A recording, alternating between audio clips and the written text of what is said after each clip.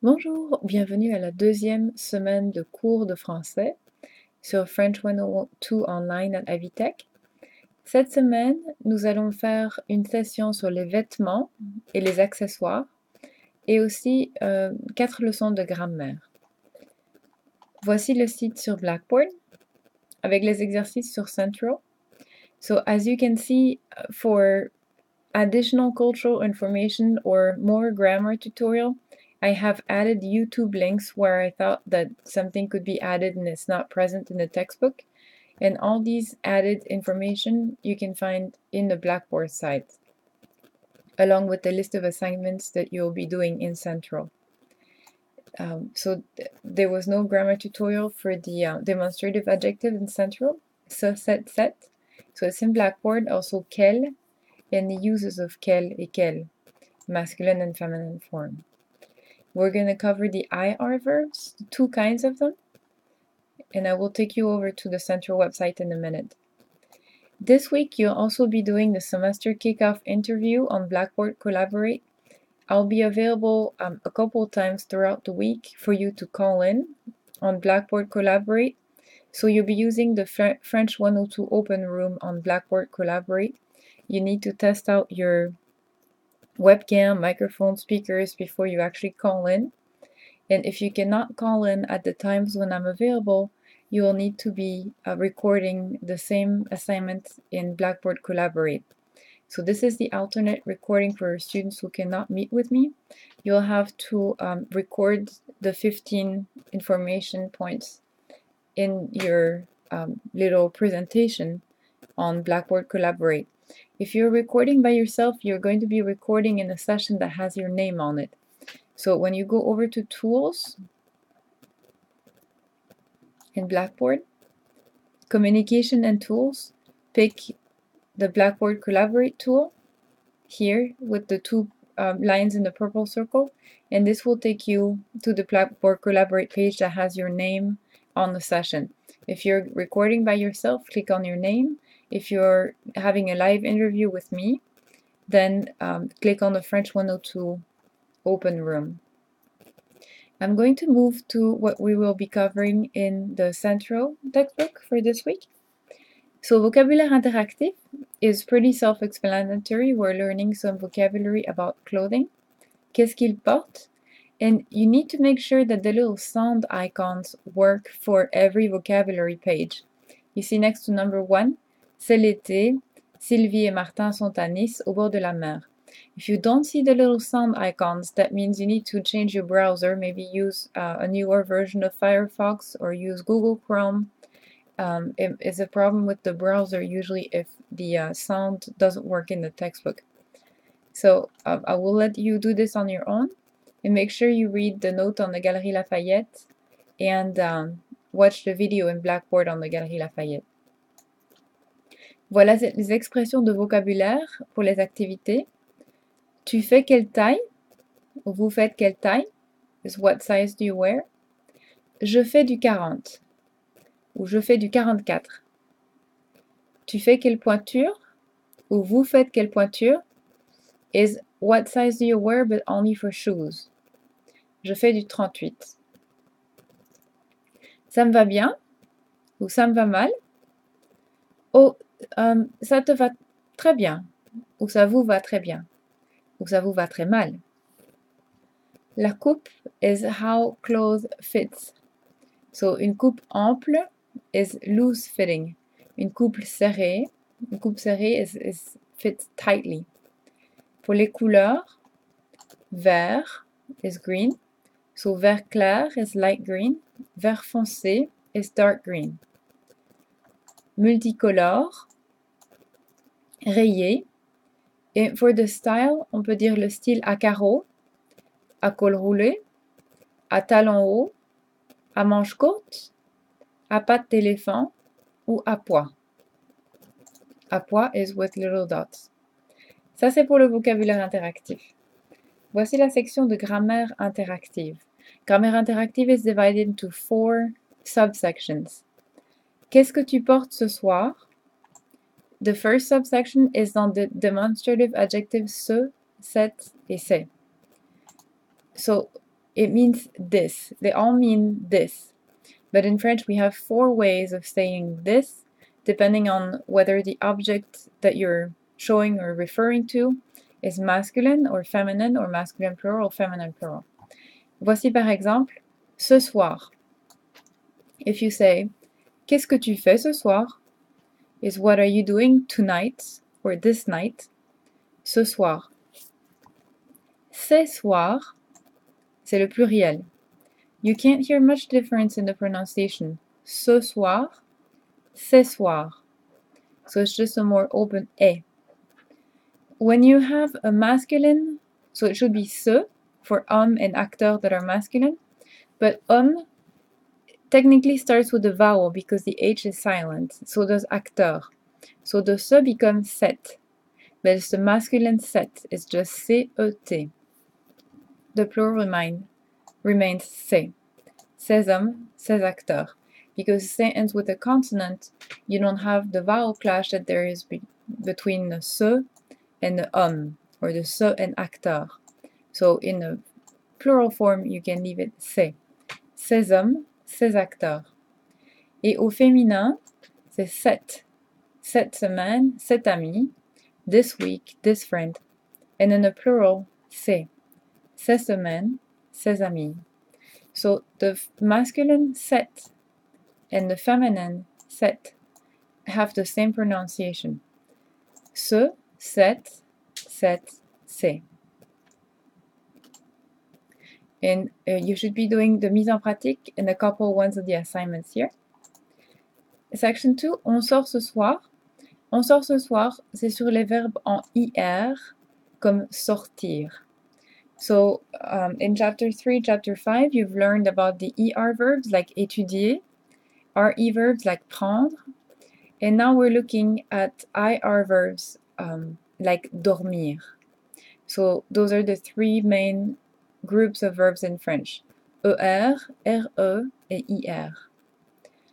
Dormir and some IR verbs are peculiar because they have two stems, meaning two roots for the verb.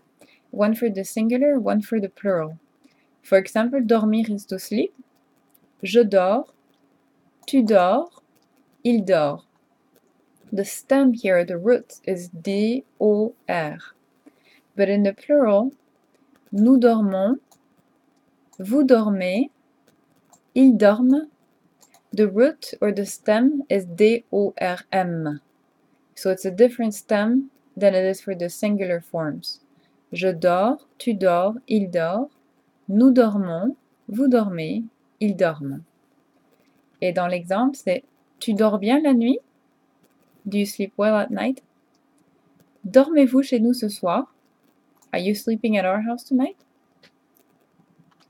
And there are several different verbs that act like dormir or conjugated like dormir. And here's a couple. Mentir is to lie. Partir, to leave. Sentir, to smell. Servir, to serve. Et sortir de quelque chose is to get out of something or to take something out or to come out of something. Donc par exemple, elle sort un livre de son sac. Ils sortent de la maison. Je sors avec mes amis. And that would be for uh, the two stem verbs, two stem IR verbs. Here is a little cultural note um, that goes with the verb sentir, to smell. It's about Grasse, the city of Grasse, in the south of France, where all the lavender fields are cultivated to be used for perfume and uh, concentrated smells. And in Blackboard, you'll find a little video on um, Grasse, the city of Grasse, and the making of French perfumes. It's all in French and it's pretty fast, but you should watch it just to see if, how much you can understand. You'll be amazed to see how much you can understand. This is for dormir and verbs like dormir. I'm going to skip section 3, we'll come back to it in a minute. Let's look at section 4. Comment choisir le bon cadeau? And those are IR verbs like choisir, which are different from dormir. These verbs also have two stems, one for singular and one for plural. But the plural stem always has an is ISS. So, finir is to finish. Je finis, I finish. Tu finis is you finish. Il finit, he finishes. Nous finissons, we finish. Vous finissez, you guys or you respectfully, you finish. Ils finissent, they finish. So you see that F-E-N is the singular root and F-E-N-E-S-S is the plural root. They wrote it in red, but it doesn't really matter whether you count it as a root or part of the ending. Um, in the end, it, it's the same. The plural form has ISS added before the ending or at the end of the root. There are a few verbs that behave like um, finir. Choisir is to choose. Réfléchir à quelque chose is to think about something. Réussir à quelque chose is to succeed at something. Voilà, ce sont pour les verbes en IR. You should go to the grammar tutorial tab, which is the sixth tab on the very top and central, and you will find a grammar tutorial that you can watch or should watch for RE verbs. This will be just um, a review of RE verbs that in chapter 5, and then the two types of IR verbs, like dormir and finir, that are in this um, chapter 6. Now I'm going to go back to the third section of the grammaire interactive. Quel magasin préfères-tu? is about the interrogative word quel. Quel is which. So in French, you ask a question, you can say qu'est-ce que, that means what. So qu'est-ce que tu manges is what are you eating.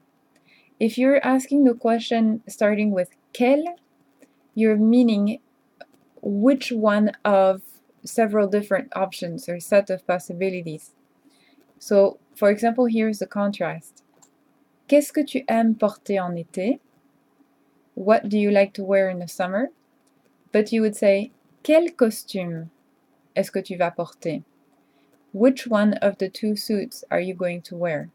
So, quel costume implies that there's a couple ones that you have to choose among. Just like the ce, set, set that we just saw in uh, section 1, quel has four forms? So masculin singulier is quel, quel costume? Masculin pluriel is quel, quel manteau? Féminin singulier, quel, quelle robe? Masculin singulier, oh pardon, et c'est féminin pluriel, it's a typo in the book here. The last line is féminin pluriel, quelle chaussure, so which shoes? Une chaussure is feminine, uh, des chaussures is feminine plural. So you heard me read quel, quel, quel, quel. There is no difference of pronunciation between the four quel.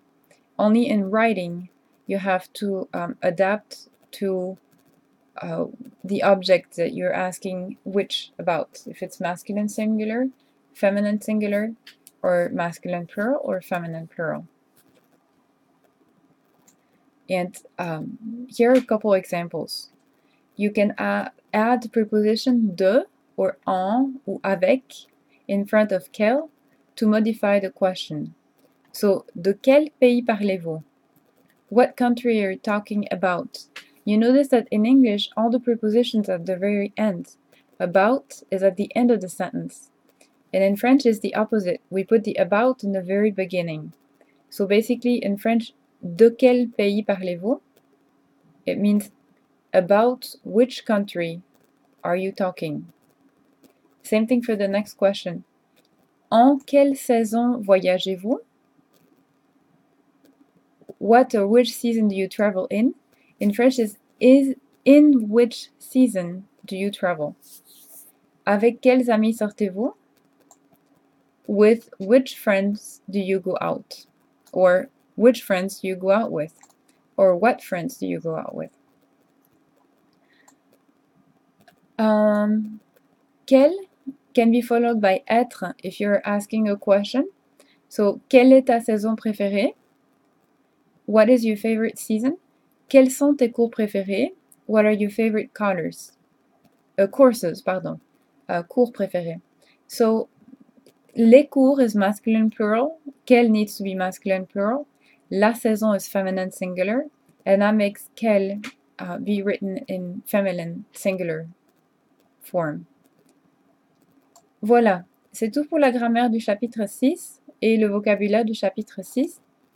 Passez une excellente semaine et n'hésitez pas à me contacter par email ou par téléphone si vous avez des questions. Merci, à bientôt.